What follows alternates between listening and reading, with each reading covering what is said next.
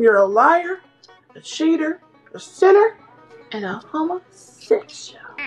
Hey everybody, it's me, RunnerEye, and today we're going to be talking about the bizarre Drag Race mobile game, RuPaul's Drag Race Superstar. This game has always been a big question mark for me, even as a Drag Race fan. I've always known that the game has existed. I mean, with the way that they market it, how could you not? Did you know RuPaul's Drag Race has an official mobile game? Did you know RuPaul's Drag Race has an official mobile game? Did you know that RuPaul's Drag Race has an official mobile game? Did you know RuPaul's Drag Race has a mobile game? But I never really had any interest in playing it. But that changed this week when I took a deep dive headfirst into the game and its surprisingly active community. So sit back, relax, and let me take you on a journey through the surprisingly addictive world that is RuPaul's Drag Race Superstar. Start your engines and join me in the new mobile game, RuPaul's Drag Race Superstar. The game came out in 2021 and it was marketed as this opportunity for fans to live out their wildest dreams of being on the show, creating their own drag personas, styling their own outfits, and meeting the one and only fracker himself, RuPaul. Though the game released in October 2021 to generally positive reviews, it was largely criticized for the amount of game-breaking glitches and bugs which were in the game. But despite this, the game was actually able to create a fan base for itself and that fan base is still pretty active today. So if the fan base is pretty active and people keep coming back to this game, the gameplay must be pretty good, right? Right? So the game begins with this beautiful screen right here. Read the print, Hunty. Please confirm that you have read and accepted the terms of use and privacy policy, occur. So after this little intro, you're brought to the avatar editor where you get to create your own character out of drag. You can change anything from your skin tone to your hair to your body type. So naturally, I decided to create an original character and let my creativity roam free. And we ended up with this beautiful character right here. And if you'd like to know her name, uh, let me just give a proper introduction to her. Everybody welcome to the stage. Visa Gama looks like shit. I'll have you know her name is Latin for this game looks like shit. It was actually difficult to get this name through their censor system. It kept telling me that it was too risque, and I was like, oh, they don't want me to put shit in my name, and I was like, okay, fine, whatever, I'll change it. So then I took it out and tried to get through it again, and I still was not allowed, which made me realize that they didn't have a problem with me saying shit, but they had a problem with me putting gay in my name. Wow, I can't say gay in this very homosexual game. Like, do you remember the way that they phrased the terms and conditions? The call is coming from inside the house. Anyway, I realized that if you just put a bunch of diacritics over the letters, that it gets through their systems fine. So if anyone wants to have like a really profane name on this app, just put a fucking umlaut over something and then you're fine. So after creating your character, you're then told to get into rich girl realness drag, and then when you're ready to walk the runway, RuPaul tells you to hit the sleigh button. He said it, he said the meme. So I put on the worst outfit that I can possibly find to try and fail this tutorial, and then I hit that motherfucking sleigh button so goddamn hard, and even dressing like shit, I still won against this Katika queen. And from that performance, we can gather that Visa Gama looks like shit is a fashion queen. Violet Chachki? Never heard of her. Miss Fame? More like Miss Lame. So after that, we get brought to the workroom and we get hit with overstimulation and we're introduced to one of the main mechanics of the game, which is called work. And I'm just gonna say this real quick. Work is the stupidest fucking name. because it's just one word and not like work points or something that would have made more sense, you end up with stupid fucking conversations like this. Congratulations, your sewing workstation made work. Let's see you collect it. Spend work to increase workstation's XP and you'll earn even more work. Like just say work points. It sounds so much easier and it would sound so much better in that sentence. Now we are in the workroom from Drag Race, like a blank liminal void of a workroom. And sadly, this is where the game becomes a slog. And by a bit of a slog, I mean a total slog. Cause this is just where the game turns into Farmville. In the workroom, the player's main goal is to set up as many workstations as possible to maximize the amount of work they can collect. You can make a sewing station, a wig station, a padding station, every type of station you can imagine, but they pretty much all function the exact same. They all accrue work over time, and it's up to the player to wait around until all of their stations gather enough work that they unlock the next maxi challenge. But before we get into the maxi challenges, you may be asking, but what if I don't want to wait four hours for work to build up? And that's a great question because if you don't want to wait, you can just buy gems, one of the three main currencies in this freaking game. And I know that we're just getting into it, but this game is not that big. It does not need need three currencies. Whole fucking countries only have one currency. Okay, so let's do a quick rundown of the currencies, a speed run. There are three currencies. The first one is gems. Gems can be used to skip time so you don't have to wait for your work to build up. You can just get it automatically. They substitute missing resources to buy workstation and pit crew upgrades. Don't worry, we'll get to the pit crew. It's the whole thing. It's gonna happen later. Hi, this is editing me. I forgot to talk about the pit crew even though I said I would, so we'll go through it now. So the pit crew are unlockable characters which you can assign to different workstations in the workroom, and the pit crew will increase the productivity of that workstation. You can assign two pit crew to each station at a time, and there's also rare types of pit crew that you can get which have special perks which affect the productivity of the whole room, though I was never able to get any of these characters because they're locked behind time limited events, and I'm also just not good at the game, so Also, a little fun detail about the pit crew which I really liked is that they have little bios with like likes and dislikes and stuff, and I thought this was a really nice detail to add, and I felt like it gave the game much needed personality. You can use gems to buy chests in the in-game store, and you can also use them to refresh the fashion store. Our second currency is lipsticks. Lipsticks can be used to buy permanent upgrades for the workstations and also for the pit crew, and apparently you can use them to exchange cards in the store, but cards are basically like a fourth currency. They're not as big of a thing as these three, so we're not gonna go through it in like extreme detail, but they do exist, and you just need them to buy certain things, basically.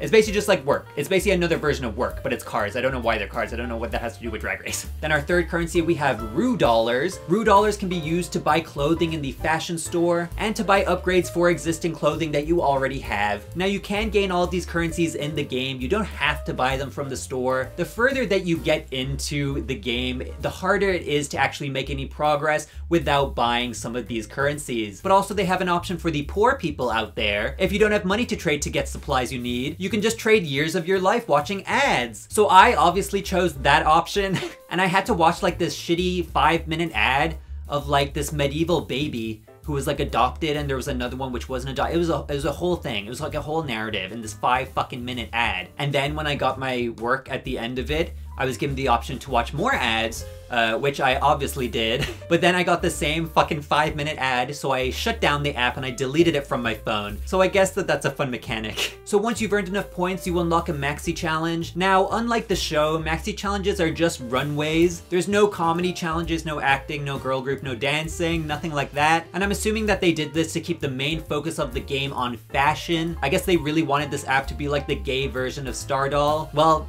I guess Stardoll is the gay version of Stardoll. But most importantly, I think that the main reason that they only have fashion runway challenges in this game is because if they were to shift focus from fashion to anything else, it would take away their main way of making money, which is making people want to buy stuff in their in-game shops. And if people don't need to buy clothing items in the store for like an acting challenge or for, you know, a girl group challenge, they're not going to. And that means that the developers are going to make like 4 million a year instead of like 5 million, which would be really sad for them. So by limiting the scope to just fashion and focusing on fashion so much, it makes people want to go into the shops and buy stuff so they can have cool outfits and do well in the game. But because every single maxi challenge is just a runway, it makes every single maxi challenge feel the exact same. Like you're basically doing the exact same thing over and over and over. You're just given a runway prompt and then you just have to choose items of clothing which have the tag that correlates to that runway prompt. So if the runway theme is basic, you have to choose clothing with the basic tag. If the theme is glitz, then you have to wear clothing with the glitz tag. It's pretty simple and straightforward, but also very boring, because I find that this tag system basically kills and murders any type of creativity which you once might have had, because it just becomes a case of just choosing the items which have the same tag as the runway prompt. There's absolutely no creativity that goes into it. To give them credit, I think that they did recognize this flaw in their gameplay. So in mini challenges, when you have to do the runway, there aren't any tag requirements so you can wear whatever you want, but there is still a defined scoring system so you can't really wear whatever you want because you're still leaning into the scoring system in order to do well. So it's basically the exact same thing as having tags. Now you may be asking, what if I was doing a maxi challenge and it required me to have an item of clothing with a specific tag, but I didn't have any items of clothing with that tag? That's a great question and you probably guessed it, but that is where the fashion store comes in. You can buy clothing here, but the available items changes every single day, so it gives you an incentive to come back and see what's new. So once you've chosen an outfit with the required tags for the runway, you can go out and get judged. You're then pitted against a bot queen, and whoever has the best clothing items with the highest scores wins. Now These-A-Gamey Look Shit was slaying bitches left and right, but that was because I was in the early stages of the game. Cause when our girl went onto the online daily challenges, she got fucking slaughtered. Daily and weekly challenges are online runways which allow everyone, no matter their experience level, to go against each other. And as you can imagine for These-A-Gamey Look Shit, that did not bode well for her. Now I didn't land anywhere near the leaderboard for this, but that's just because my fashion sense is too forward thinking. Maybe in 20 years time they'll catch up. But from what I've read, these leaderboards are very competitive. When browsing through the subreddit for this game, I stumbled upon a post where a user celebrates getting third place in one of the game's leaderboards, and in order to achieve this, this person had to spend around 500 to $600 on in-game currencies. That being said, there is a poll on the subreddit which shows that most people who play the game don't spend any real-life money on it, instead opting for the grind of the workroom. And in the subreddit, it does seem like this idea of whether this game is pay to win or not is still very much up for debate, with it being pretty common to see both users saying that not being able to win is just a skill issue, while others say it's a microtransactions issue. Though I'm kind of obsessed with this one user who made this big goodbye speech two months ago, being like, hope you can keep enjoying the game even though it's clearly pay to win unlike me. And then I checked their profile to see their last interaction with the subreddit, and it was 10 hours ago. Speaking of, the RuPaul's Drag Race Superstar Reddit seems to be the main hub for players of the game. Most posts are centered around people showing off their outfits or sharing their achievements, or like most gaming subreddits, complaining about the devs and glitches in the game. And then other people post posts complaining about the people complaining about the devs and glitches. Also, I find it funny that the users of this subreddit just have an obsession with the devs. Devs, please, there's a chin discoloration and a lopsidedness. Devs, if you're here, please fix these eyes. They are so beautiful, but every time I put them on, this is what I see. And also my favorite part about the subreddit and their obsession with the devs is that they have this kind of dev conspiracy where people believe that loads of the devs go on undercover Reddit accounts and try and post things to try and sway the fans' opinions about certain aspects of the game. So now it's just led to this kind of dev McCarthyism where people just randomly accuse others of being devs in disguise for complimenting the game. Someone called me a developer on here because I disagreed with their opinion, and my name has the letters DEV in it. That's hilarious. Whenever I see someone defending the greediest game devs over loyal playing, sometimes paying gamers, I always assume they're a dev. Okay, okay, but not me, Kay? I'm just a big fan of the game, lol downvote. And I think that the reason why this game still has a pretty active fan base is because of the game's seasons. You see, the advertising that they do for every new season in this game is the reason why I know this game exists. Because when a new season for this game drops, they market the fucking shit out of it. So if you don't know, seasons are time-related events in the game, which introduce new clothing, new weekly events, and most importantly, they introduce a queen from the show into the game. That's right, you can see all of your favorite queens in their cartoon glory. You can earn their iconic looks from the show. You can compete in weekly challenges themed around them. But don't wait too long though, because seasons only last a month. And once that month is over, well, you can say goodbye to your hopes and dreams of ever dressing like Jessica Wild. There's been 27 seasons so far, with Jessica Wild being the current one at the time of filming, which you may already know uh, if you've seen Jessica Wild's Instagram. She's been posting about it on there. And it's all over the RuPaul's Drag Race Superstar Twitter. I mean, they even tagged Jessica in a Twitter post. Wait, that's not Jessica Wild. Why did they tag some random woman called Jessica? This poor woman. Honestly, it's a pretty smart way to keep people coming back to your game. Each new month, you're promised that your favorite queens are going to be joining the game. You'll have the ability to unlock all of their iconic outfits from the show, and it's a limited time offer, so there's no time to waste. You should play the game now. And it's marketed all over the fucking Queens' social media, so you can't escape it. Like I said before, I had no interest in this game before making this video, and even I could tell you some of the queens who were included in previous seasons just through sheer osmosis of existing on the internet. So that's the RuPaul's Drag Race Superstar app. Thank you so much for watching. Please like, subscribe, and comment. And most people who watch me aren't even subscribed, so you could totally subscribe and get new amazing videos every single week. I have a Twitter, Instagram, TikTok, and a Patreon. If you want to support me on any of those platforms, please do. Again, thank you so much for watching, and I'll see you in the next video. Goodbye.